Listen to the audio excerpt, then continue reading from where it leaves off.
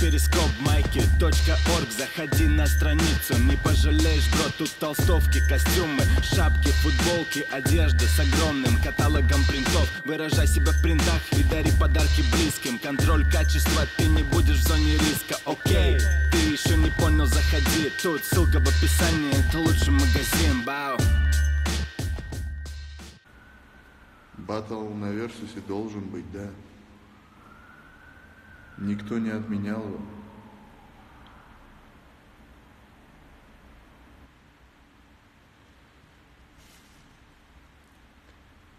Привет.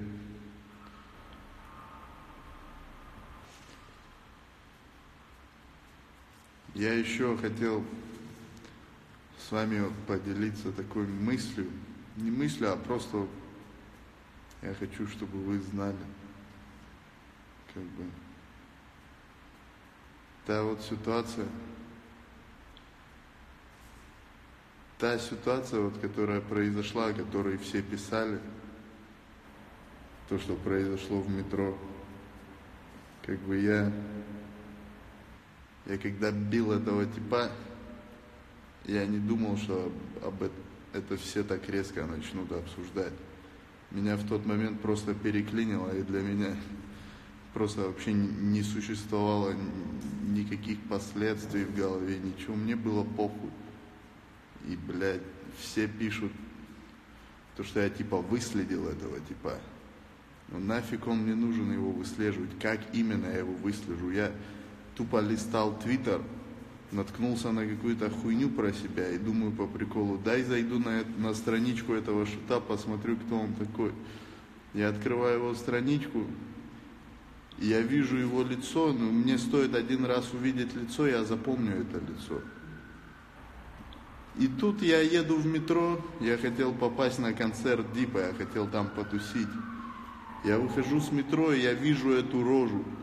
То есть, если бы я его не увидел, я бы в жизни его не стал искать. Я выхожу с метро и натыкаюсь на эту рожу. Я думаю, охренеть совпадение. И как бы я такой человек, что я не могу пройти мимо, не спросив у человека за слова. То есть я как бы не из тех, кто может пройти мимо, если я знаю, что этот человек нес про меня какую-то хуйню. А те твиты, которые показали, за которые я якобы его отпиздил, это все херня. Я не буду говорить, что именно он писал, но поверьте, там было намного больше твитов. Я просто не мог пройти мимо и все. Я не хочу, чтобы меня ассоциировали как с чуваком, который всем дает пизды. Я хочу быть из... именно, чтобы люди узнавали меня за мой скилл, за мой рэп. Такие ситуации бывают, что делать. Но я не хочу именно Люди думают, что я это делаю специально, чтобы обо мне не забывали, чтобы мое имя постоянно было на слуху. Это не так. У меня была куча драк в моей жизни. Как бы я не делаю это для того, чтобы заработать какой-то кусок хайпа. Просто так вышло и все. Как бы никаких сожалений, никаких оправданий. Что было, то и было.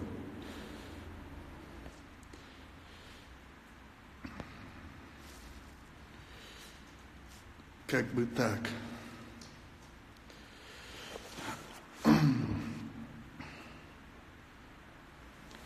Я не смотрел этот батл.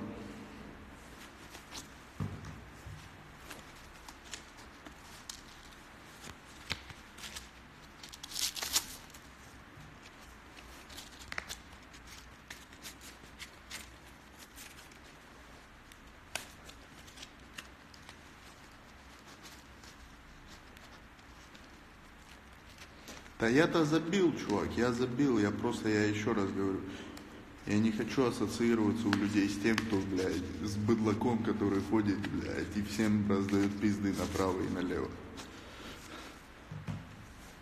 Я не хочу быть известным за, за счет этого дерьма, понимаете о чем? Я не хочу, чтобы это обсуждали, блядь, на всех каких-то тупых сайтах. А когда я его бил, я, я блядь, представить не мог, что об этом напишут на The Flow. Ну, то есть я тупо не подумал о последствиях. У меня такое бывает. Я часто что-то делаю, я не думаю о последствиях.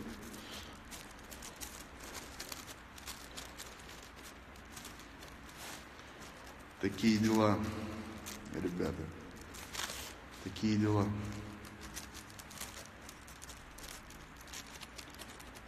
Вот.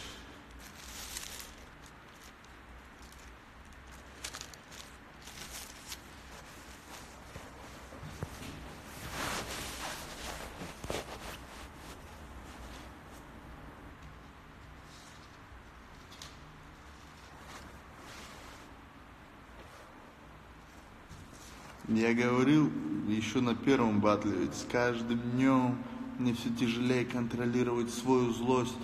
Я хочу, чтобы вы понимали, я все, что я пишу, я пишу это искренне, от души. У меня все это идет из, от сердца.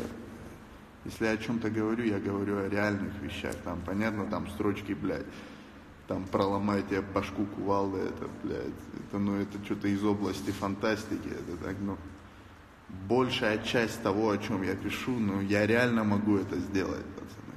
Как бы это мой персонаж, это я, это моя личность. Как бы. У меня поначалу было такое, что меня бесило, что люди говорят, да он вообще абсолютно не такой, как, каким он себя подает. Я честно говорю, меня это одно время очень сильно бесило. Я говорю, да они вообще обо мне ни хера не знают. Какого хера они так пишут? Какого хера они пишут, что я какой-то мягкий, слабенький мальчик? Какого хера?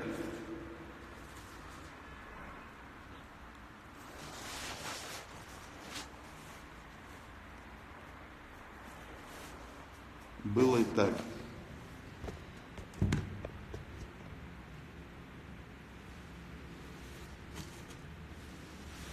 Здорово, Тости. Кстати, сделайте шума для Тости. Это тот чувак, который нарисовал со мной арту. Дайте ему шума. Этот чувак реально охеренно рисует. Пацана прям способности есть.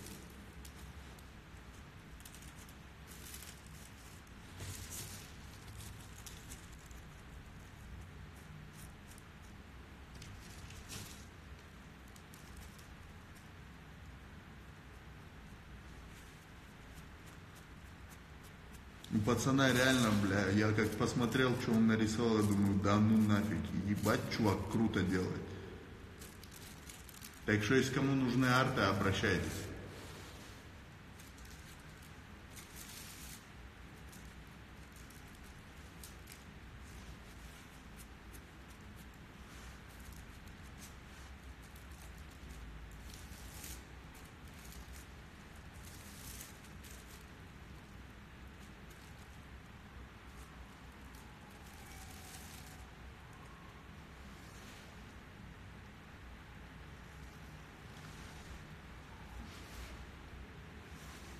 Так получилось.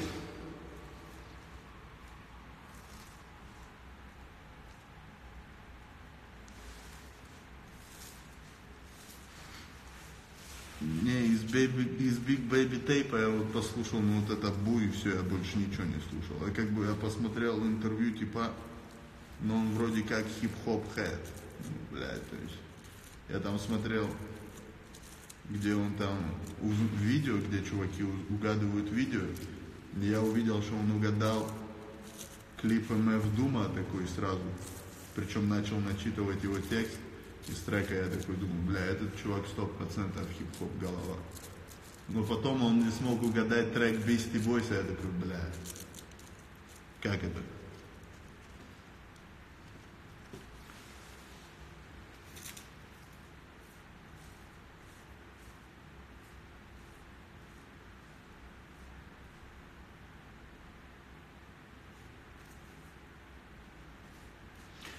Нет, то есть я просто говорю, что ты типа круто рисуешь. Там я не говорю, чтобы к тебе обращались как к чуваку, который типа рисует арты на заказ, а просто говорю, что ты круто рисуешь, чувак.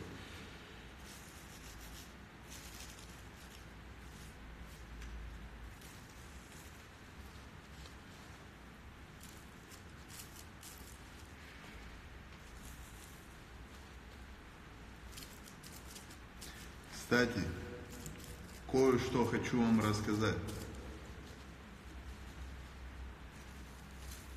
Одну очень интересную историю, одну забавную историю по-настоящему. Сейчас добью косой.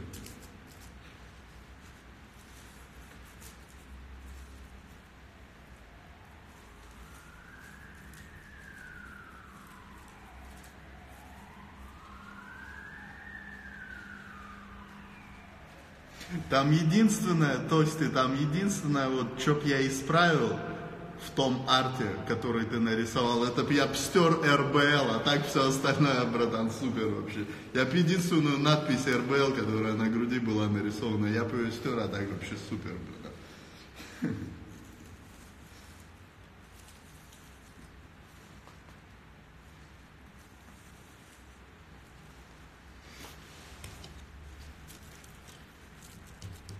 Короче,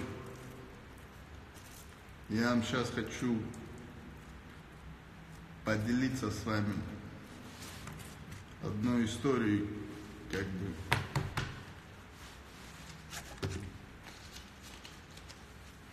чтобы вы поняли, какие люди живут на этом свете. Сейчас. Салют еще неизвестно пара.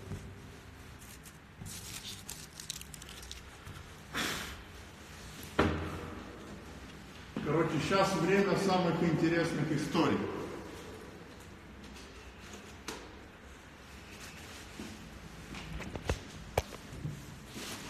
Я эту историю расскажу, и я выйду с трансы, потому что у меня, у меня как обычно, садится зарядка.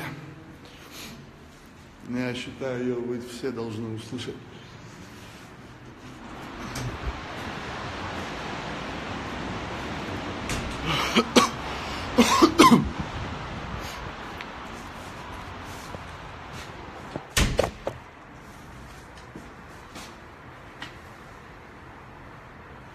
Кстати,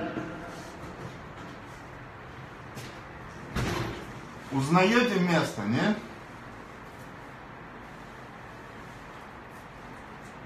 Кто, кто узнал это место?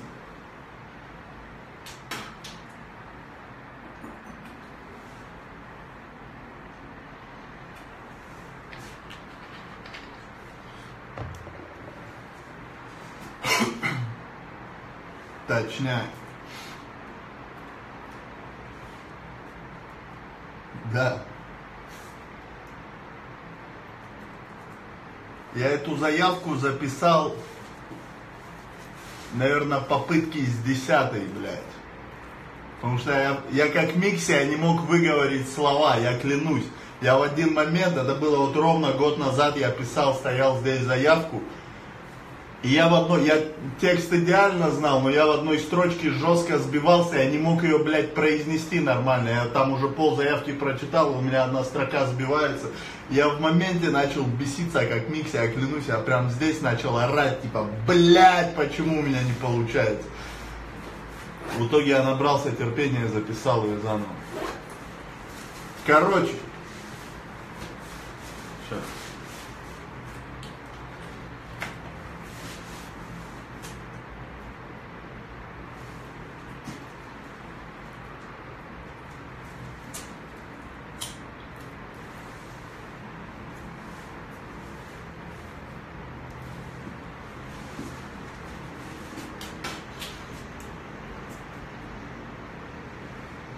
Я вам расскажу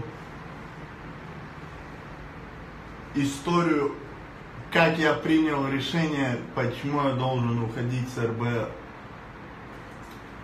Короче, дело было так.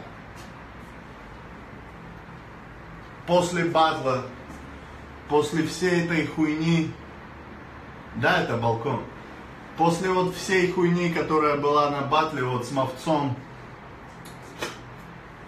там, ну, раз, да, меня, меня взбесило вот это судейское решение за Б. Не в том плане, что он типа отдал голос против меня. Мне похуй, вы можете, это ваше право, голосуйте против меня. Меня, во-первых, взбесило то, что он начал говорить там про какие-то домкраты, баяны. Но я считаю, если ты после первого батла меня чуть ли не боготворишь, там говоришь в интервью, что ты меня слушай, можешь слушать только меня и Окси, и потом спустя там полгода ты, блядь, чуть ли меня не с говном мешаешь, там говоришь, у меня домкраты, баяны, вообще все хуйня, короче, и так далее. Это ладно, я это стерпел. То есть я на это не стал внимания обращать. Я выхожу с батла, и я как бы, я вокруг особо не понимал, что происходит, знаешь, там, ну когда во время батла, ну для тебя как бы время очень быстро идет, и ты не замечаешь, что батл очень проходит быстро. Он идет вживую намного быстрее, чем на камеру. Ну а само чувство времени, оно очень сильно ускоряется. И после батла также. То есть ты выходишь на улицу, полно людей подходят тебе, что-то говорят, и ты как бы половину информации, то, что тебе говорят, ты ее даже не обрабатываешь, ты не понимаешь, ты просто можешь там кивнуть или что-то сказать, но ты до конца не понимаешь, что происходит, ну, потому что огромный адреналин и так далее. И вот в моменте после батла я стою на улице, курю сишку, с кем-то базарю, и стоит, я вижу Забе стоит с ПМом, о чем-то пиздят. Ну, я просто подхожу с ними, там, знаете, там на улице стоишь, там, сначала в один круг зайдешь, там, с одним пообщаешься, потом еще пойдешь, там, с другой компанией пообщаешься. И я также подошел к ним, просто, типа, слушал разговор, о чем там ПМ за Б разговаривают. Стою, курю сигарету, и, короче, за Б переключает внимание на меня и рассказывает ПМу, что, типа, блядь, какие у меня были хуевые раунды. Я стою, молчу, мы там что-то спорим, блядь, где нормальная строка была, где хуевая. Ну, я спокойно ему обсуждаю, я ему говорю, да не, бля, мне кажется, это нормальная строка. Ну, короче, обсуждаем мои раунды. И в моменте, короче, он мне говорит, в моменте он мне говорит, ты вообще что пришел сюда, он мне говорит. Ты хотел 10 тысяч, ты их не получишь. Я, блядь, клянусь, блядь, я охуел, я просто охуел. Я говорю, какие 10 тысяч? Я у тебя и не хотел денег, блядь. Я и не просил у тебя денег, о каких 10 тысяч ты вообще говоришь? Он такой, ну ладно, все, блядь, проехали. И когда вот этот, и, и все, и мы разошлись на этом моменте, я даже дальше не стал ничего говорить. Я как бы этот момент мимо себя пропустил. То есть я вначале особо толком не понимал, что он имел в виду, что он мне сказал. Я такой выхожу, на, я, я отхожу от них, иду дальше куда-то, блядь, в другой конец улицы, я понимаю, что блядь, я не знаю, где я буду дальше батлить, чем я вообще буду дальше заниматься, но я точно больше не буду выступать на РБЛ, потому что мне такое отношение, ну, блядь, блядь, и кто, блядь, после так, таких слов будет вообще общаться, блядь, с человеком, да, не говоря уже представлять там чью-то площадку. Я ушел, я не знал, что будет, где я буду выступать, что я буду делать. Я думал, ну, может, буду выступать там на каких-нибудь маленьких площадках, там, андеграундных, там, блядь, вообще поебать. И тут я спустя час натыкаюсь на Лестера, он меня приглашает к себе. Но это отдельная история. Я к чему это говорю? С какого хуя он начал говорить о каких-то деньгах?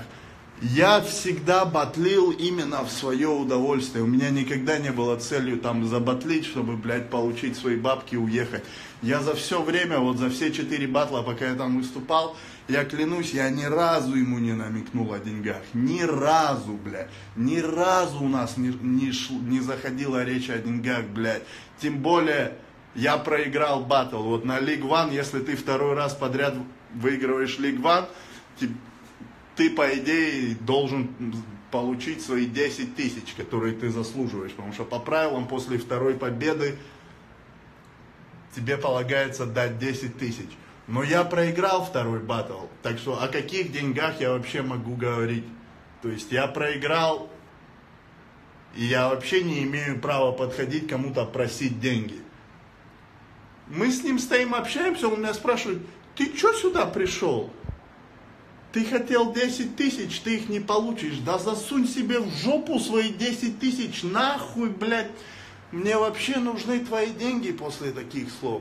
Ну, то есть я считаю, это так только может, только конченый какой-то пидорас вот такую фразу выдает, блядь. Я ни разу ему не говорил о деньгах, блядь. Ни разу. То есть какой ты профессионал, если ты, блядь, переходишь сразу же на личности, блядь. Но это чистый переход на личность, блядь. Ты хотел 10 тысяч, ты их не получишь, а я их не хотел, блядь. Я ему даже так и не... Поэтому, блядь...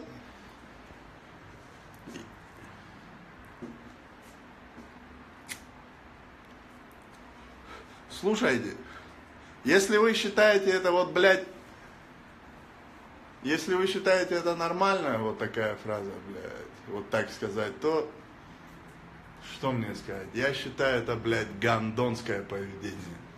Ну это реально, это гандонское поведение. Только мрази себя так ведут. Я только вот недавно вспомнил эту ситуацию, я понял, что, блядь, я все правильно сделал, блядь.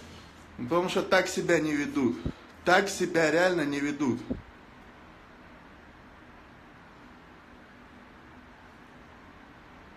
Блядь.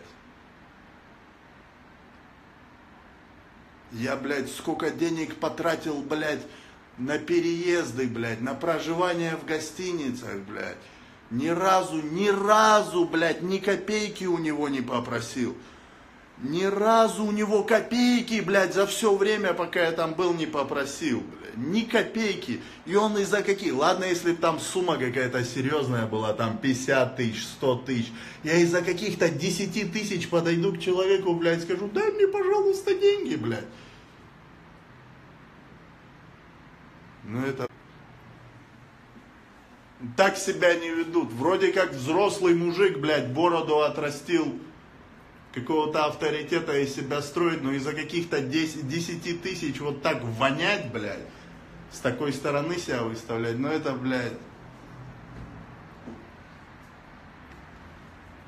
Слушай, пожар, я не знаю, сколько тебе лет, но ты какую-то хуйню здесь пишешь. Тебе с чего грустно? Грустно с того, что я говорю факты. Грустно с того, что я вот именно выхожу в Инстаграм и людям вот высказываю свою точку зрения. Я говорю искренне. Я говорю то, что я думаю. Вот это моя позиция. Я считаю, что вот после таких слов, блядь, если какой-то батловик останется вот после такой фразы, вот эта конкретная меня фраза убила, блядь, ты хочешь 10 тысяч, ты их не получишь. Если какой-то батловик останется, блядь, будет дальше батлить на этой площадке, блядь, покажите мне такого, я к нему подойду и скажу, ты терпила, вонючий. Блядь. Ты терпила, вонючий, я вот так скажу.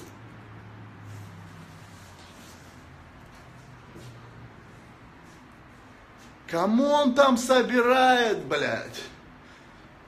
Может быть, кому-то он там дает. Я не исключаю, что он им овцу дал бабки сразу же после Лиг Ван первой победы, после которой бабки не полагаются. Я не исключаю, что он мог ему дать деньги после этого.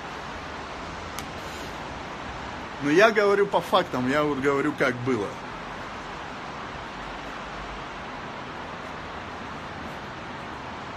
А мы еще увидимся сколько раз с этим за Б, блядь. Я думаю, у нас еще будет разговор. По-любому мы еще все это обсудим. Не знаю, правда, как это все будет выглядеть со стороны происходить. Я в тот момент, когда он мне это сказал, я просто особо, ну, блядь, я до конца не понимал, что мне говорят. То есть я не, не до конца переварил, что он мне хотел сказать. Как-то так.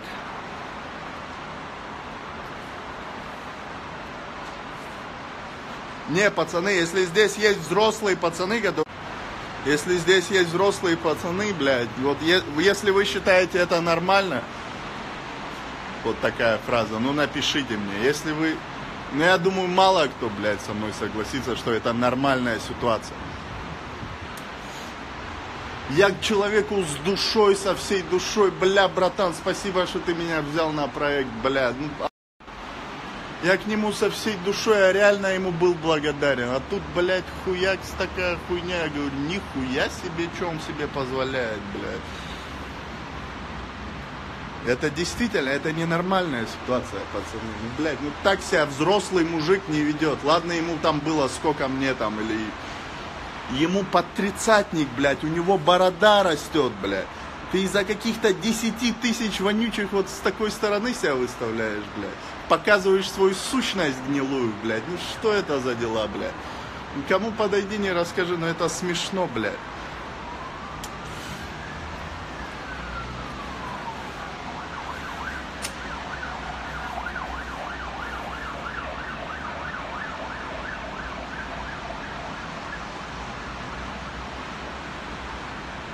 За Б больше поверят, потому что у него больше, блядь. Ты реально маленькая девочка. Я что, пиздеть буду? Я говорю, как есть. Вот чтоб я, блядь, провалился, если я сейчас что-то приврал, сказал не так. Мне, мне все равно, сколько у кого фанатов. Я вот говорю, я вижу здесь вроде как нормальные пацаны сидят, смотрят. Взрослые есть пацаны вроде как. Вот люди понимают.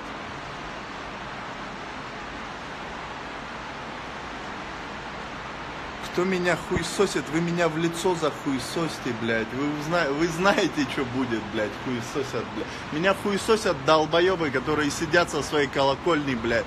Дальше своей колокольни ничего не видели, блядь. И вот они именно свою позицию, блядь, оглашают за счет того, что они слышали, блядь. Хотя они не видели того, что я видел я своими глазами, то, что слышал я, блядь. Поверят, не поверят, там стоял ПМ, блядь. И еще дохуя людей было вокруг меня в тот момент, когда он мне это сказал. Бля, я уверен, найдутся люди, которые помнят эту хуйню. А если он скажет, что такого не было, ну, блядь, получается он балабол. Тогда получается, что он балабол, если, такого, если он будет отрицать то, что он мне такое сказал. Получается, он балабол.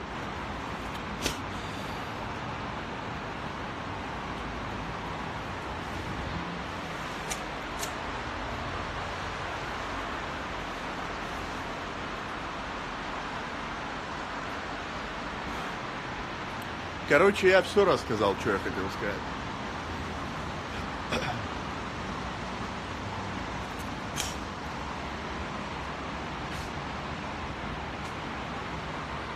Я?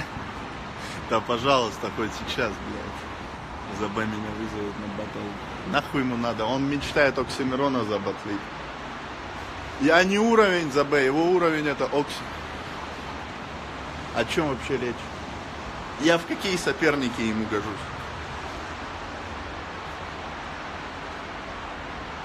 Е-е, да, пожалуйста.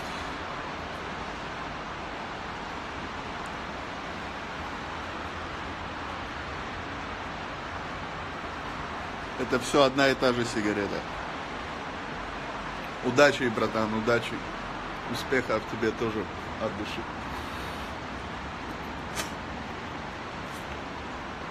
Короче, всем out. Всем удачи, пацаны. Я тоже выхожу с трансы. Батлы еще будут в следующем году. Потерпите чуть-чуть. Мне тоже надо отдохнуть, сил набраться. Новый год с новыми силами. Всем удачи, всем пока. От души.